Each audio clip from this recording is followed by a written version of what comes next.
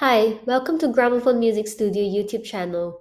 We are bringing you a major update on Trinity syllabus and books. Trinity has decided to retain all current syllabus and books indefinitely. Plan updates will be announced 12 months in advance. For piano syllabus starting 2021, all current pieces will be retained in new syllabus so you can continue to learn these pieces even after new syllabus is launched.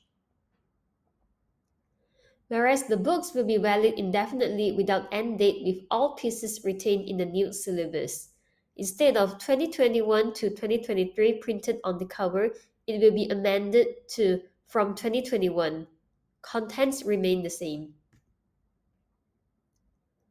For other syllabus including classical guitar, acoustic guitar, brass, drum kit and percussion, and strings, the syllabus will valid indefinitely starting 2023. All current exam books will be valid indefinitely. The covers of these books will be amended to from 2020 to reflect the change. We have just received this update through email and currently cannot find this information on their official website. Once it's available, we'll update the website link in the uh, description box. See you next time.